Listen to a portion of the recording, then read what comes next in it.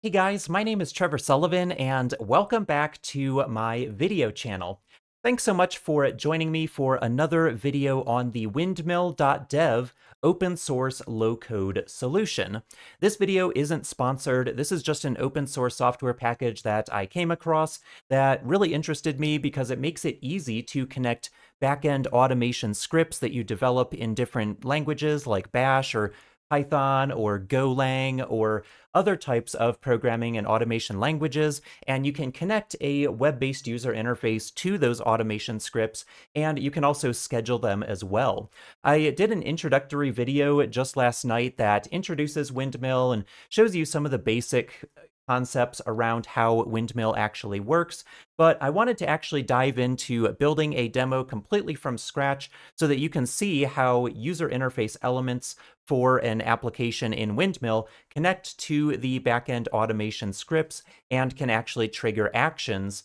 So we're going to take a look at this, but before we do, I wanted to point you over to my YouTube channel here please make sure that you're subscribed to this channel. You also see on my channel here that I have some playlists like open source software right here. I've got a PowerShell automation list of videos as well. I have an AWS list of videos that I created a number of years ago, and I'm also going to be adding in my windmill.dev as well as the recent LXD playlist into my channel here as well. You can also just go straight over to this playlists tab and find my publicly accessible playlists if they're not listed on my homepage. And then something else that's really interesting that you might not know about on YouTube is that there's actually this separate community tab where you can actually just create generic posts, very similar similar to social media platforms such as Twitter or Facebook.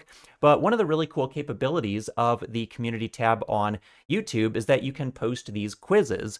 So I've been posting these quizzes that people can answer questions to right here, and you can actually learn, if you get the answer wrong, you can actually learn what the correct answer is and improve your knowledge about software such as LXD, or in the future, I'll be adding some questions about Windmill as well and other open source software. So make sure that you check out out that community tab and that you're subscribed to my channel so that YouTube actually shows you these quizzes as they are deployed to my channel on your home screen in the YouTube app.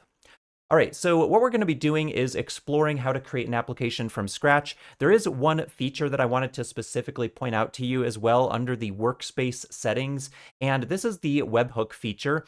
And what you can do is basically just plug in a URL where messages can be posted from your Windmill server over to an external web service. And then those messages basically allow you to build an audit trail of what's happening inside of your workspaces.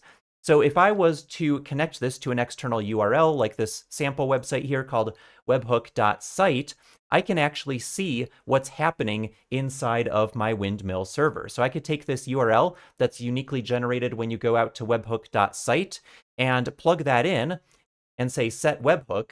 And then anytime that I do something like create a new script here, and then maybe save a draft of that particular script, we can actually see those actions happening as messages that are getting posted to this external web service. You can see right down here, it says a new script was created inside of the Trevor workspace on my Windmill server, and it has the name important script that was just automatically generated by Windmill right here. And so this is a nice way to intercept those audit trail events and process them using whatever kind of logic you want to.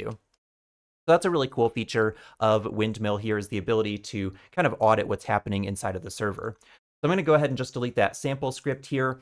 And for starters, we're just going to build a really basic application that doesn't use any external services. And then later, later on, we're going to take a look at an example that actually does do something like calling the Telegram API. I already have this sample script right here that can accept a Telegram channel and a message that you want to post. And then I built a really very painfully simple web user interface right here that allows me to send a message to a Telegram channel. As you can see right here, I got that little notification in my Telegram channel popping up right here. And so I can really just type in whatever message I want to. And just by doing this in Windmill, I've created a custom user interface for my Telegram So what we'll do for starters is just create a new application here, and we're just going to add in a couple of components. So what we're going to do is accept a person's first name and a person's last name as separate fields, and then we're just going to join those together with a space in the middle so that you can read the person's full name. So for starters, what we're going to do is just add in a text element right here and we'll make this the person's first name. So I'm going to edit the name of this element and call it txt first name. And then we're going to go ahead and duplicate this component, and we're going to call it something else. So I'm just going to do a control C and a control V that will duplicate the element. Then I can edit this and say txt last name. And then we also need to be able to plug in a button here so that we can click a button and actually perform an action. So I'm going to go back to the component list right here, and we'll search for a button. And I'm just going to move that button right below these fields right here. And we are going to say over here on the configuration, we'll give it a label like get full name. And then for these text boxes right here, you can see that it still has the default text. So I'm going to select the text first name in the component list, and I'll just change the text to first name as the placeholder. And then for txt last name, I'll change it to last name as a placeholder. And then we can, of course, change those when we execute the program. Now, we also probably want to give our program some kind of title. So I'll just plug in another display text component. So this is not a text input, it's just going to display some text inside of our application here. And then I'm actually going to move that up to the top right here and then move txt last name down to the side. And then I'm going to move my button, my, I think it's uh, the A element. Let's give that a name like btn submit. And I'm going to move that down a level so that we can then move our text boxes over right here. So let's move text last name a little bit over. And then for the text box right up here, I'm just going to give that uh, a txt title. And we'll change the text of that to say, how about name getter, something like that, right? So now we have a little title for our app and we have a couple of input boxes and a button that will invoke the action. All right, so now that we have our basic UI here, we actually need to gather the first name and the last name when we click on this button and join them together and display them somewhere else, right? So I'm gonna add in another text component to hold the results. So I'm gonna choose another text component and we'll move that right down here below the button. And then the value of this text box here is going to be the result. So I'll do the txt result as the name of that element so that we can reference it later on. And I'm going to eliminate the default text just so that it's empty there and we won't see any text there. All right, so now we want to take the value of first name, join it to last name with a space in the middle when we click on this button and display it inside of txt result. So how do we do that? Well, we have to write a little bit of code. So what we're going to do is go to button submit right here. And as you can see on the right-hand side, we have this event handler. So when we click on the button, what exactly do we want to happen? Well, we can define what happens by creating a script as a separate resource, and then we can select that script from our list of workspace scripts. So for now, I'm just going to save an initial draft of my application and give it a name. So I'll do app underscore name underscore getter, and I'll say gets person's full name from first and last names. All right, we'll save that initial draft right here. And now if we go back home, you can see that we have this app right here with the name u Trevor app name getter. And it's currently in draft mode because we've never deployed this application and made it accessible to other users. So what we want to do now is come up here and say, I want to create a new script, right? This script is going to execute some code when we click on the button to get the person's full name and join the first name and last name together. So I'll call this script name getter. And down here, I'll say retrieves person's full name from first and last name. And I'm going to go ahead and just use a really basic bash script for now. So I'm going to choose the language as bash. And I know that they're currently working on PowerShell support, so I'm really excited for that because being able to write PowerShell is just a lot easier. And then for the description and say this script backs the name getter app in Windmill. All right, now another cool capability is that we have this thing called worker groups. So if we had certain workers in our infrastructure and we only wanted this script to run on certain workers, we could actually restrict that by tag here, but I don't currently have that set up here. So we're just gonna let it run on all of the workers inside of our windmill environment. All right, so how do we accept inputs to this script? Well, as you can see in the sample code right here, there's just a couple of variables declared, and they're referencing the input args to the script as $1 and $2. The second example here has a default value, but in our case, we're not going to accept any default values. We're just going to accept the input arguments, and we're going to rename these to first underscore name and last underscore name.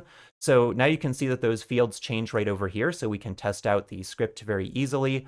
And so when we echo a result here, we could just substitute those variables, first name and last name.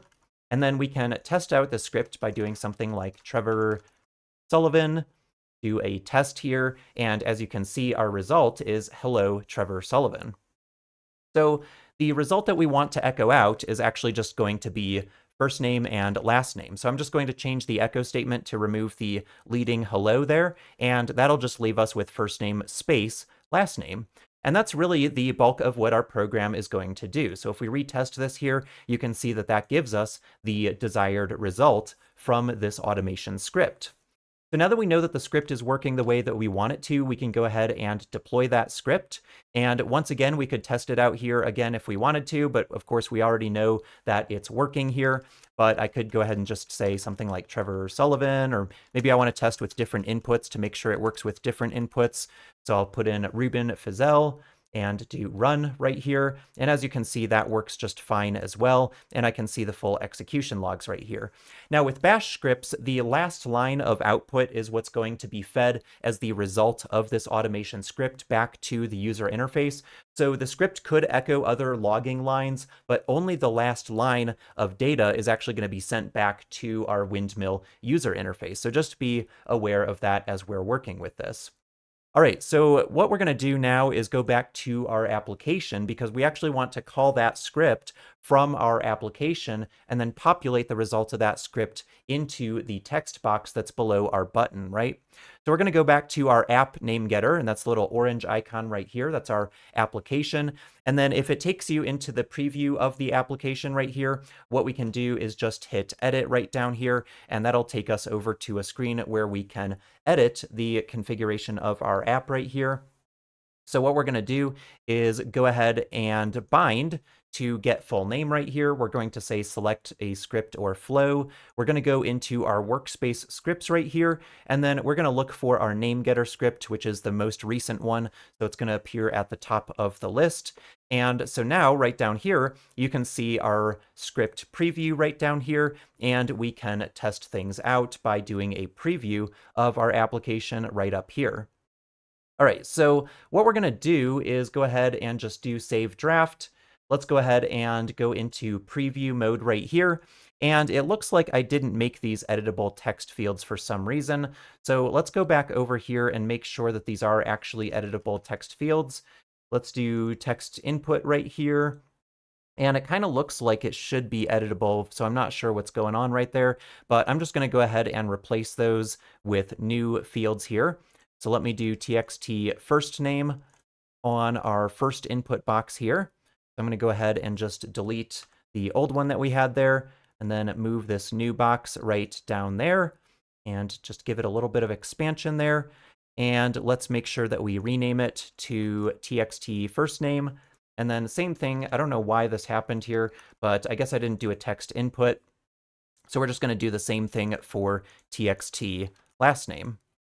All right, so let's get rid of this old one here that we don't need any longer. We'll move this one down, expand it a little bit so it's bigger, and then we'll go ahead and rename this to txt last name and txt first name right here. I don't know, I guess I didn't save that.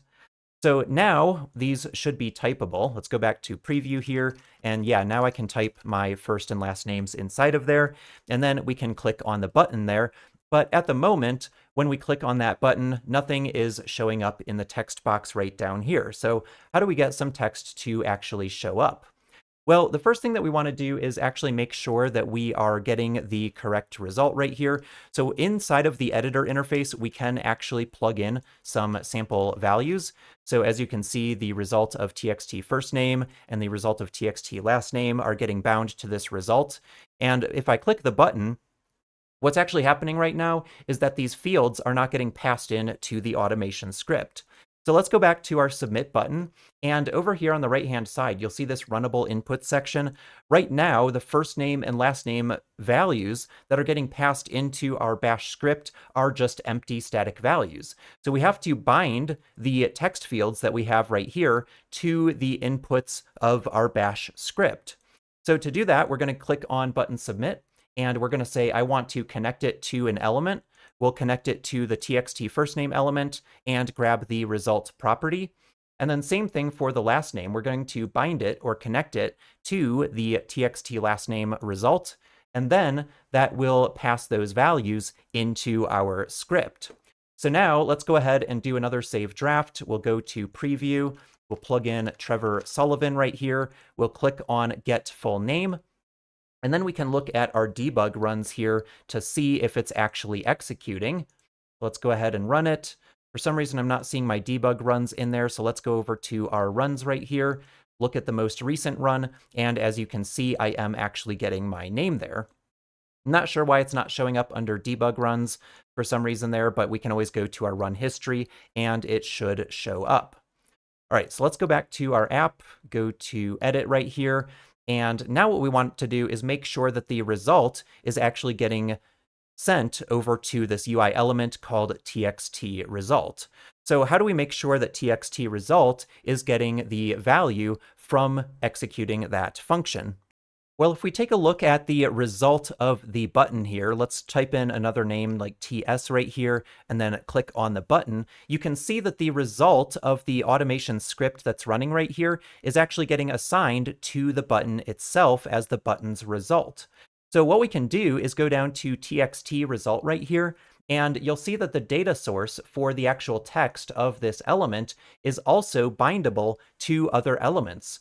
So if we click on the little plug right here and then choose connect, we can actually select our button right here and then go into the result property right here, and that will bind the result from the automation script that gets bound to the button to this text field right here. So I think that's pretty much everything that we need to do. So what we'll do is just do save draft right here, and then we'll go into preview mode, and we'll type a name like Ruben Bizel, We'll click on our Get Full Name button, and as you can see, it displays it right here. So at this point, we've got a really basic application up and running. Granted, the application isn't really doing anything useful at this point, but it does give you a really basic example of how to bind user interface elements in your Windmill application to other automation script inputs, and then taking the result of that automation script and then feeding it into another user interface element. So this is kind of how we make things interactive in our windmill applications. Now, to take things a step further, we could actually build a an example that plugs in to an external service. And I'm going to keep this video kind of short right here. We're already at about 18, 19 minutes. So I'm going to go ahead and just kind of cut things off here, but we're going to do another video on my YouTube channel that actually talks about how to plug in to external APIs so that we can integrate with services like Telegram or Slack or Rocket Chat or external database platforms like PostgreSQL or MongoDB and really take your automation scripts to the next level. Granted, windmill applications working just internally are pretty cool, but where things get really powerful is when you can start plugging into external APIs and automating external systems from Windmill applications. So anyways, I hope you guys enjoyed this video. Again, please be sure to subscribe to my YouTube channel and check out the different quiz questions that I post on my YouTube channel here. You can also follow me on Twitter at PCGeek86 to get announcements, and we'll see you in the next video. Take care.